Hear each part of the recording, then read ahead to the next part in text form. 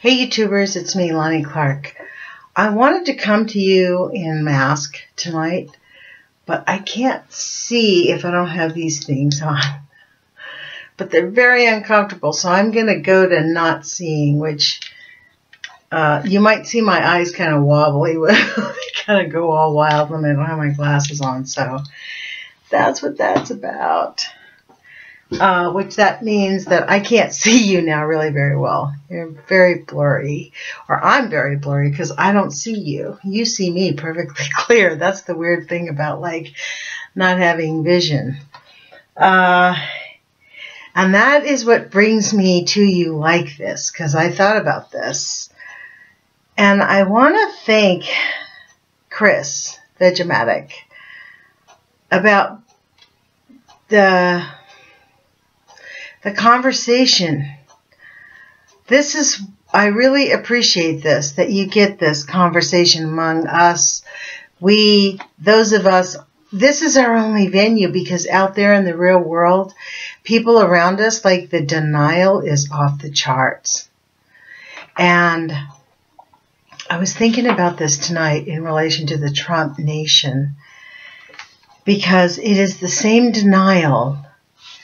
I mean, if anybody was paying attention, I put cotton balls in here so it could be cushiony on my face. I mean, this was like a $1 mask from the dollar store, and this is whiteout, folks.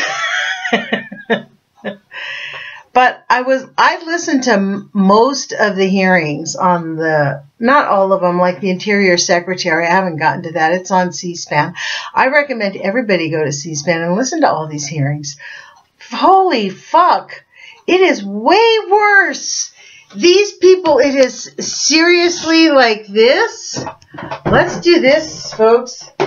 Anybody who lives in a Republican state ought to be calling their elected officials and saying, fuck no, we won't go. Make Trump at least give us educated neoliberals.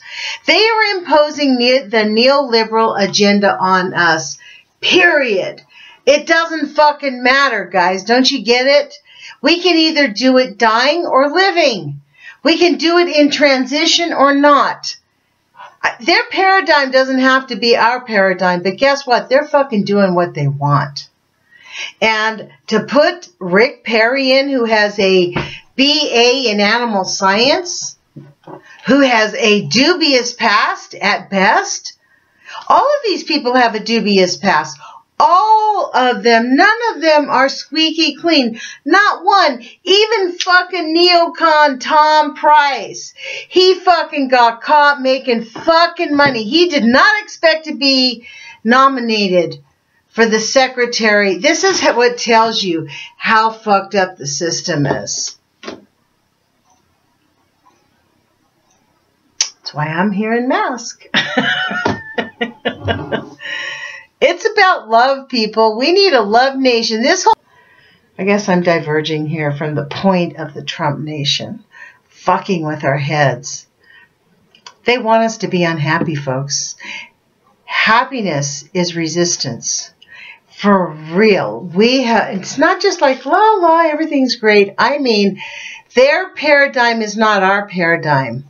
Because things are not great. They are still ignoring, let's just, even if we could ignore Fukushima, let's just like pretend Fukushima never happened, okay? Let's just pretend we don't have three ongoing nuclear meltdowns pouring over a 100,000 tons, a 100,000 gallons of radioactive waste into the Pacific Ocean every day, and it's probably 300,000. And that is, considering John Gofman's 90% rule, the fuck, like all bets are off, right?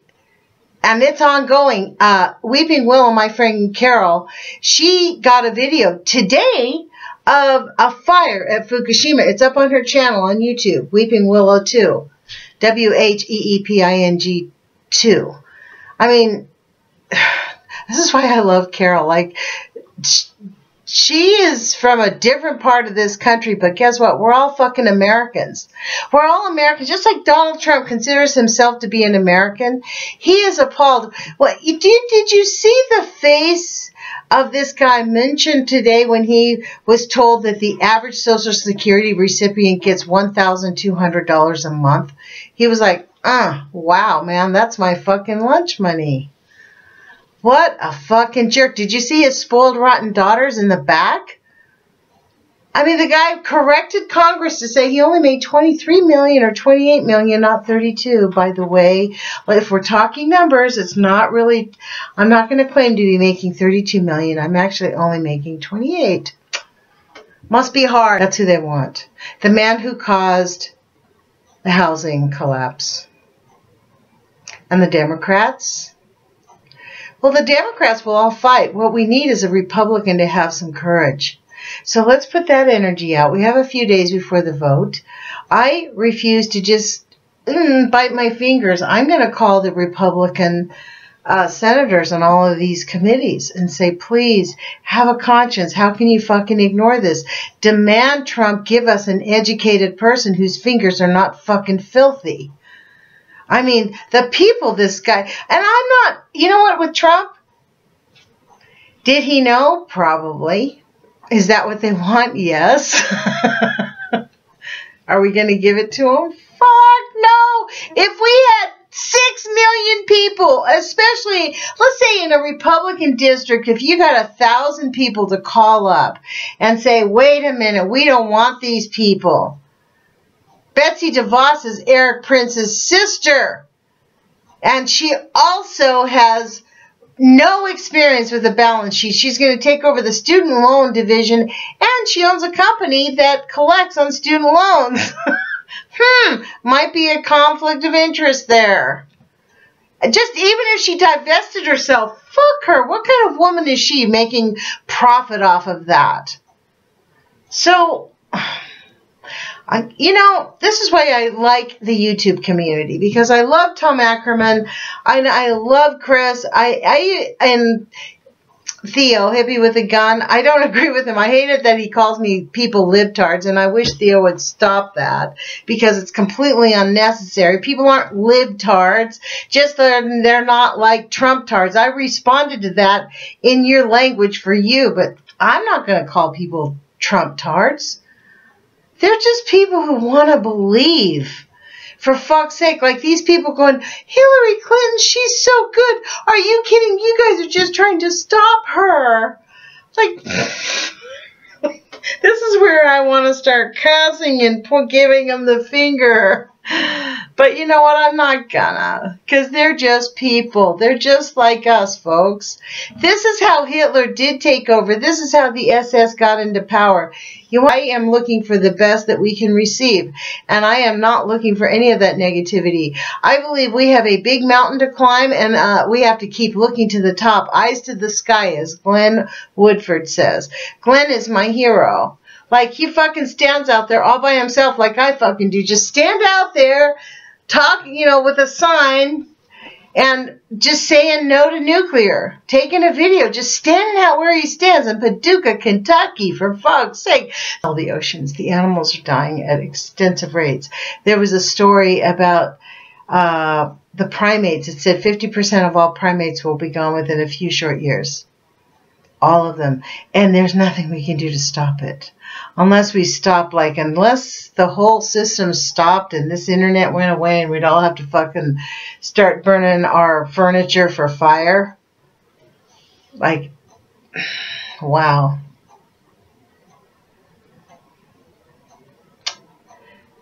But I did want to remind you of this, right?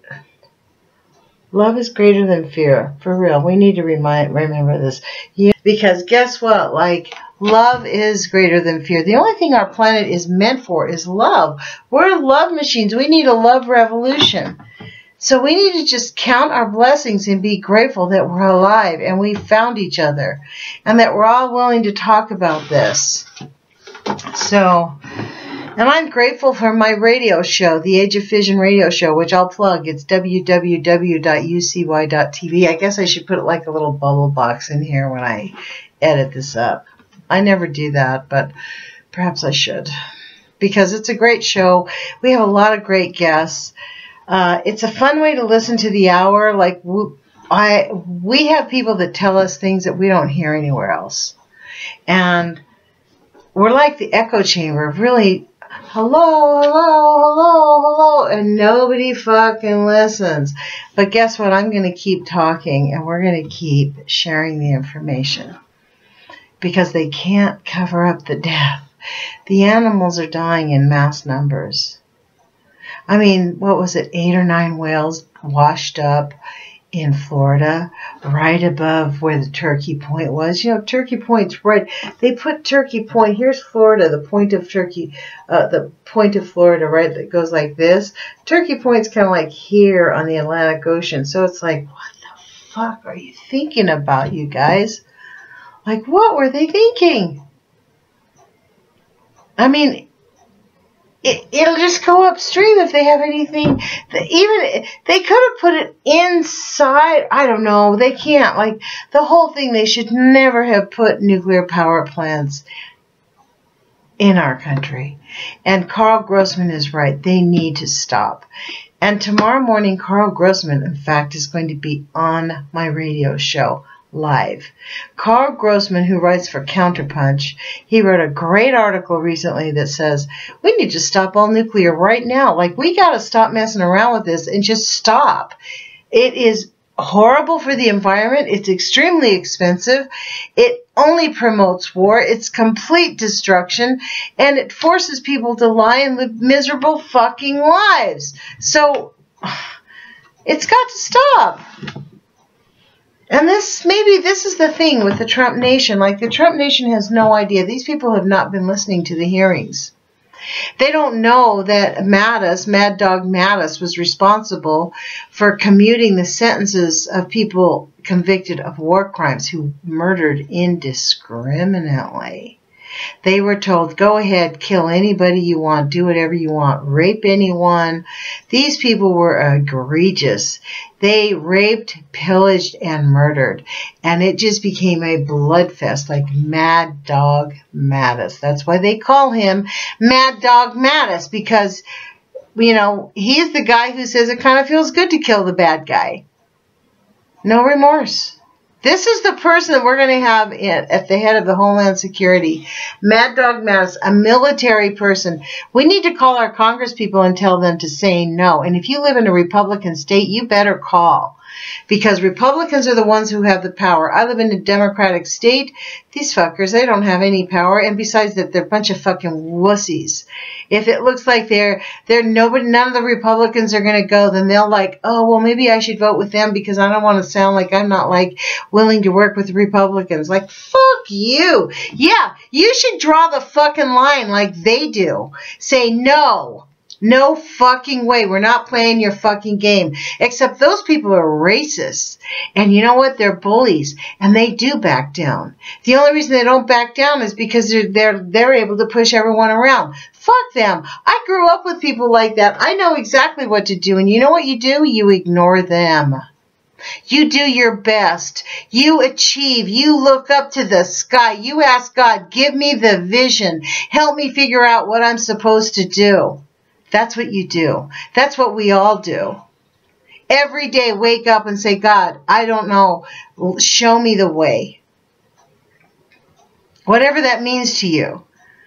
Be driven by that inner discussion between you and whatever it is that puts that fucking light in our hearts.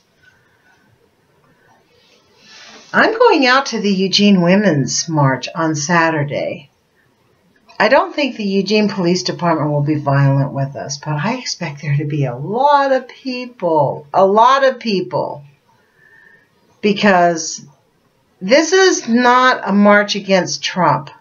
It is a march against neoliberalism and fascism because they want to gut our safety nets. They are gutting them. You know, they had seven years to figure out a plan for the day that they finally took over from Obamacare.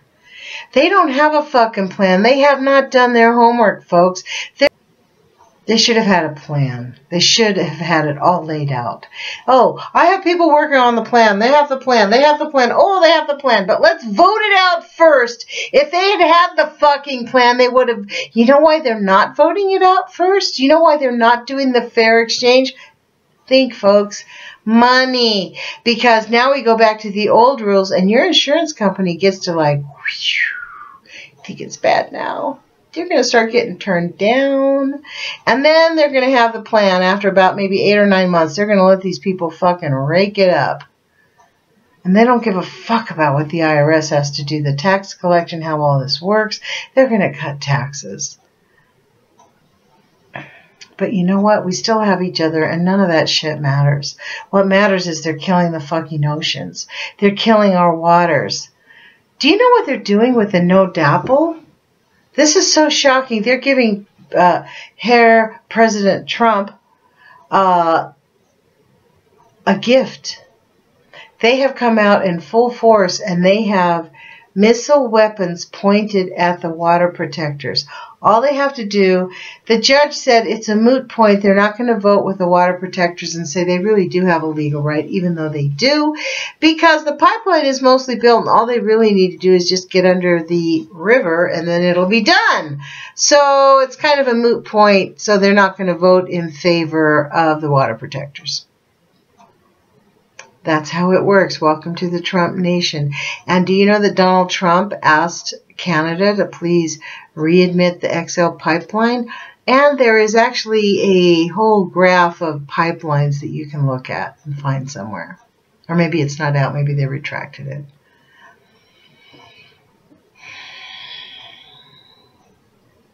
That's why I'm not in mask, folks. I'm going to the Women's March in mask, and I'm going to bring some brochures that explain to women how they are most affected and their children are most affected, and how the nuclear industry is using us and how doctors are brainwashed to believe that they are telling the truth. And actually, they believe it. They think it's not that bad. It's very bad. It's bad enough we have to get some x-rays. I've had x-rays. My kids have had x-rays but to force our children to live in highly radioactive contaminated zones and have the government send billions of dollars, if not trillions of dollars, on the military and creating war and drop more nuclear weapons on innocent people who we have no fucking idea who they are because they these fucking narcissistic people are paranoid of them. No, actually, they want their money. They want their resources. They want their assets. They want to take over. Just like they did the United States. They don't give a fuck whose nations is what. I mean, uh, when I looked at the map, and I, you know, again, this is the interesting thing about this generation of people, you know. I had no idea how many tri tribes there were in the United States to be honest. I really had none. I thought there was like one big tribe in the middle, and they were all like Sioux or Hopi, and that was it. I didn't understand any of it. You don't know what you don't know until you know you don't know it. But we're all one, one, one, one unit, and we are all victims of the nuclear industry. Man, tomorrow it feels like the axe is going to drop, folks. That's it's not the axe. It's the call to action. Maybe that's what I'll title this video, the call to action. Trump Nation call to action, huh? I'm going to bring out peace on earth to the protest on Saturday. And I hope if Kevin Finnegan or Theo sees this video, or even uh, Tim Martin or anybody else in the area who watches this channel, come out to the Women's March, please. You can find it on Facebook, but it's at noon at the new federal building on 8th. I mean, we must stand for the freedom to speak out publicly, the right to privacy, the right to keep government out of our lives. They don't have a right to spy on us. Those laws were illegal based on a whole set of illegal activity. And our government is out of control. And that is why people put in Donald Trump because they bought his bullshit. They thought he wasn't part of the government. they really are so naive. They didn't understand that if he really was, he'd have fucking been knocked off long ago. And we're in the thick of it. It's Trump or like which bad pill do you want? Like they both suck, right? So now we're with the neoliberals. And the neoliberal agenda is about cutting all our safety nets and all the regulations and they're going to tox us out. And then the pendulum will swing. They might be able to get us through 2018 who knows? Who the fuck knows? They'll just keep controlling the rigged elections in 2008 more years, and then they'll let some like half dim-witted fucking Democrat, oh, I'm gonna be your leader. I'm gonna take back the government.